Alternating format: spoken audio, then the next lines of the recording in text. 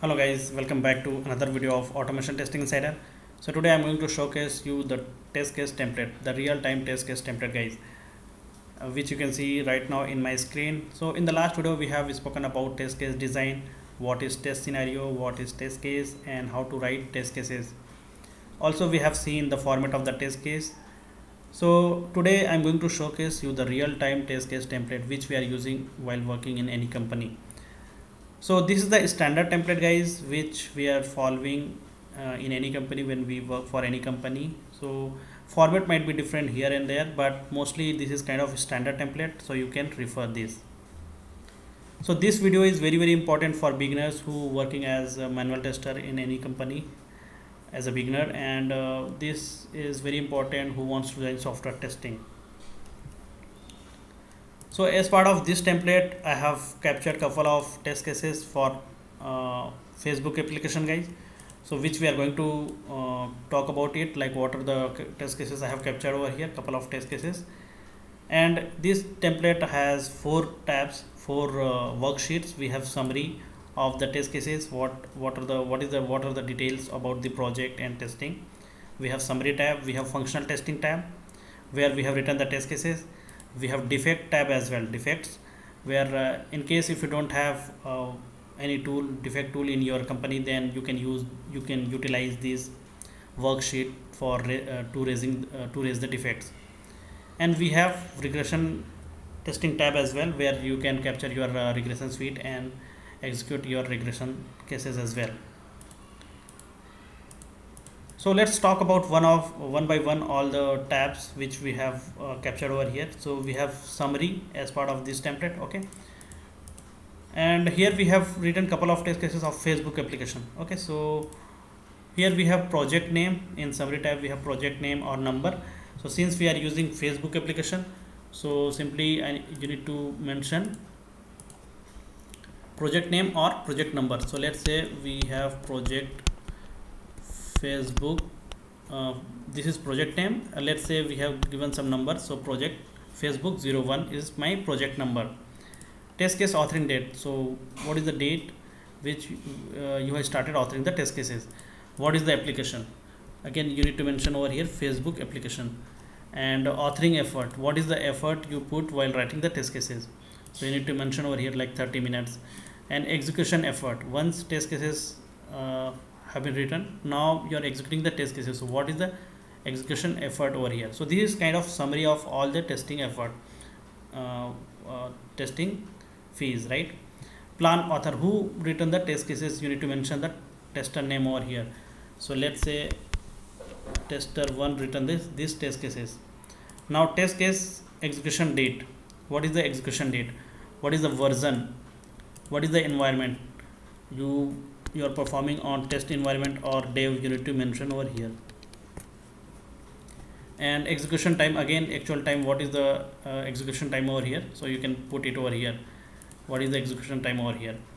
And uh, executed date is done. Executed by who? Executed the test cases. So let's say tester 2 executed these test cases. So you need to mention in this particular section about the who executed the test cases now what next? We have test status as well. So you need to put the status like it is in progress or completed or or pending whatever status of your testing you need to put over here. Scope of the testing again you need to put in this particular section. Test purpose or objective. What is the objective of your testing? You need to mention. Setup requirements or considerations. So if you have some considerations or requirements you need to put it over here notes or special instruction while testing so again you need to mention here. Database changes hard work or network specification you need to mention over here. Items not included in the test. Whatever whatever the uh, requirements which are out of scope you need to mention over here. Uh, which are in scope you need to mention over here. Item sorry out of scope right? Assumptions while testing you need to mention here. So worksheets in test plans what are the so you can say this is kind of mini test plan as well guys because we are putting all the uh, all the testing details over here. So you can say this is mini test plan as well this template particularly. And uh, all the projects should have functional testing regression testing worksheet. So we have functional testing and regression testing. And new worksheet can be added uh, in case of multiple modules. So if you have multiple modules to test so you can add extra uh, worksheet as well defect list so we have defects tab. Now let's talk about the next uh, next worksheet which is functional testing. So we have seen what is the naming convention of our test. Okay so we put all the test cases over in this particular worksheet. So the first column is test script.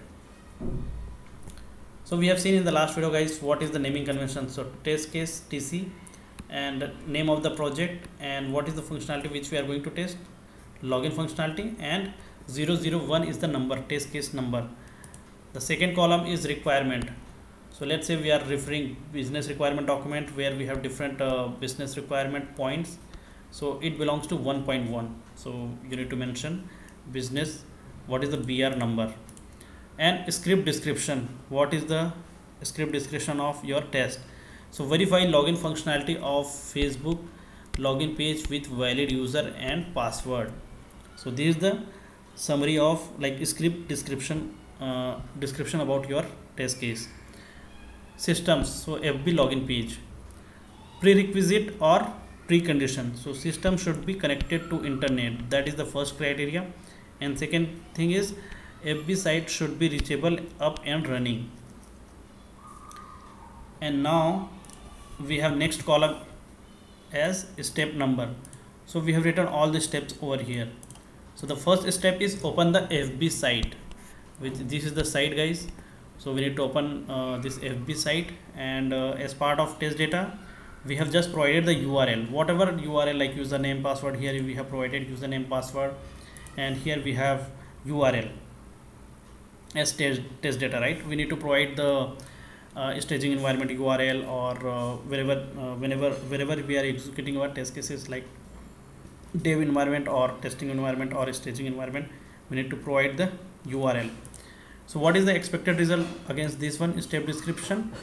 User should be able to open the url when we follow these steps open the fb site so user should be able to open the url next is actual results. So this is ex expected results. We are expecting this behavior. And actual results. Url is opened successfully. And last column is status so if expected result is matching with actual results then the status should be pass it should be passed right? So if both are same then it should be passed. In case if it is not matching if actual result is not matching with expected then we need to mention it as fail. Now let's talk about the next step. Verify the login page. So let me just open the facebook login page facebook.com so this is the facebook login page guys where we need to enter email address or phone number and password. And we have login button and we have create new account as well forget forgotten password as well. So this is the login page of facebook and here you can see verify the login page in step number two. What are the expected result we should get when we login uh, when we navigate to login page? So the email address or phone number text box should be displayed. Password text uh, box field should be present login button should be present. So these are the expected results on login page right? And corresponding we should have actual results. So email address or phone number text box are displayed.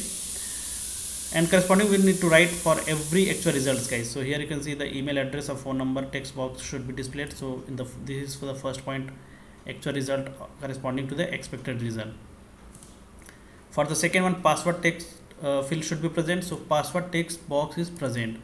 Third is third one is login button is present. So these are the actual results and all are matching with the expected result so we'll make it as pass.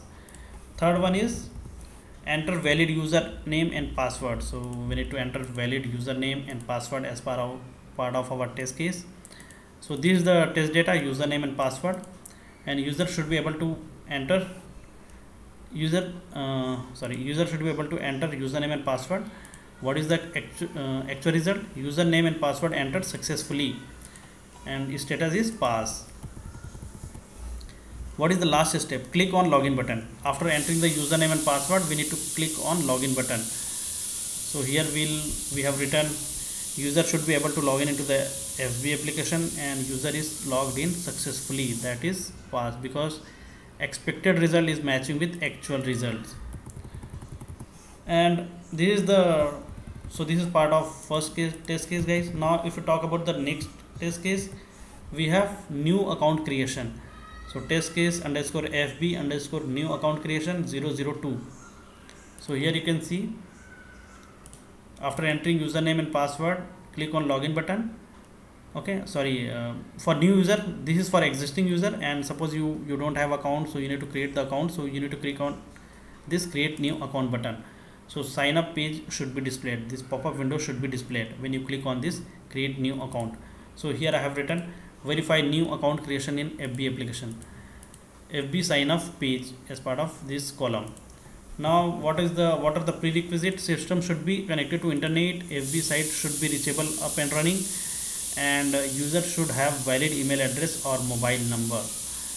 So then only you you should be able to sign up when you have valid email address or valid mobile number. Then only you should be able to sign into then you can sign into facebook page or facebook application right?